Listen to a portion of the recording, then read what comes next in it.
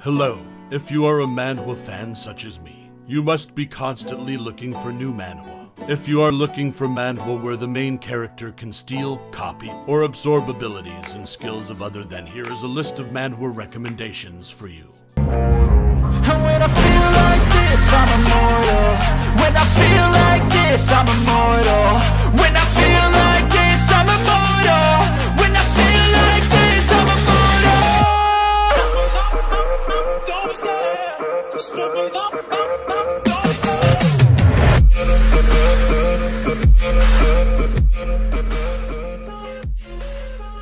Manhwa in which the main character can absorb, steal, copy the abilities or skill of enemies. Number 1. I can copy talents. The fate of Yu-chan changed when he gained the ability to replicate the talents of other people. In order to protect his sister, he was struggling to survive in a world where alien beasts had invaded. In order to become stronger, he started exploring unknown worlds and gradually unraveled the secret to enter different dimensions. Number 2, I grow stronger by eating.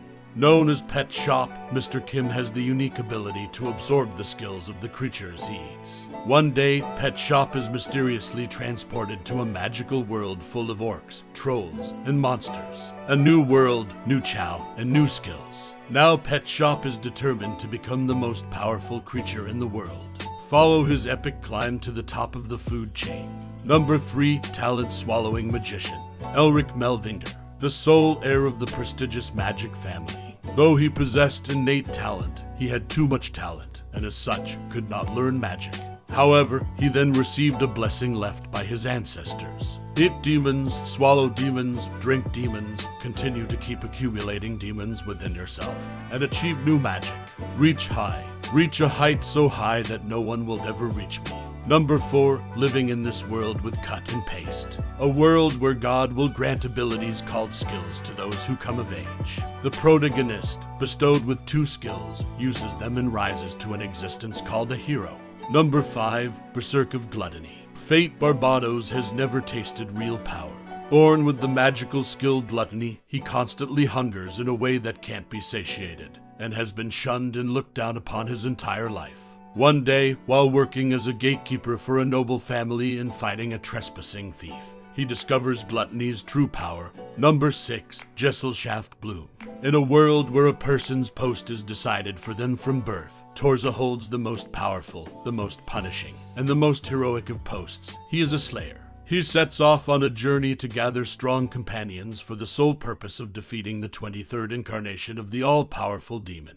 However, there's a dark truth lurking behind the stories of the so-called heroic slayers. Number 7. Dungeon Seeker. Junpei Takeda, a high school student, is childhood friends with Noriko Tatsumiya and the bully Kaido Shouda. One day, during the usual course of bullying Junpei, they were suddenly summoned to a different world by the whim of God. Summoned heroes with cheats, or so he thought. But it turns out Junpei's stats were even worse than an average farmer. Tricked into a deathly labyrinth by the only one he trusts, he walks the journey for revenge. Number 8 Solo Max Level Newbie. Kang Jinhyuk, a gaming streamer and content creator, is the only person who has cleared the game.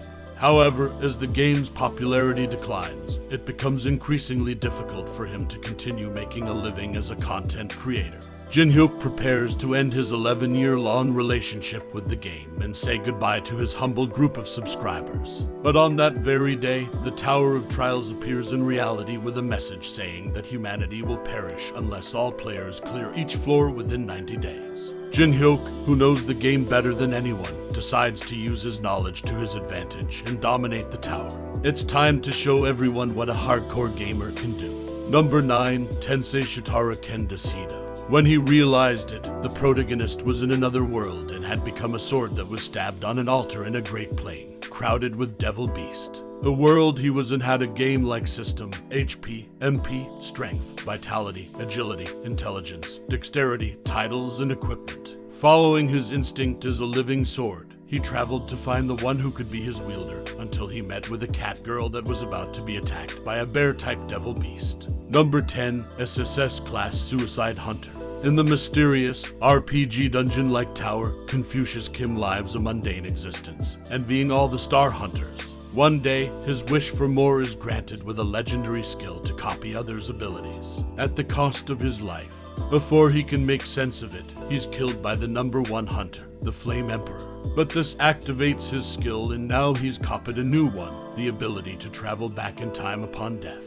How will Confucius use these skills to outplay the competition and rise to the top? Need more recommendations like this? Then be sure to subscribe to our channel and do check out our website link in the description.